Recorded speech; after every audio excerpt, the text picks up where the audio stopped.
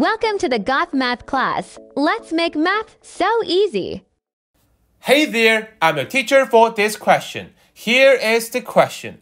Find the standard form equation of a circle with the given center that passes through the given point. The standard is minus 3.0 and the point of circle is 6.1. Okay, now let's organize the information we get from the question. This question wants us to find the standard form of the equation of a circle with the given center, which is minus 3.0, dot zero, and the pass through the given point, which is 6.1.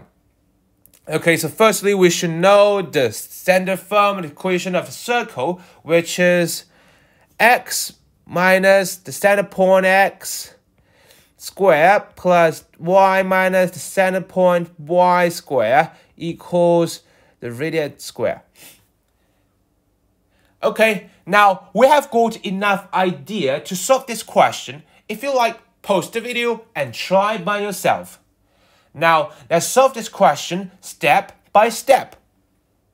So first we know the standard point is minus 1.0, so we can know the standard form of the equation of the circle which is x minus minus 3 square plus y minus 0 square equals r square.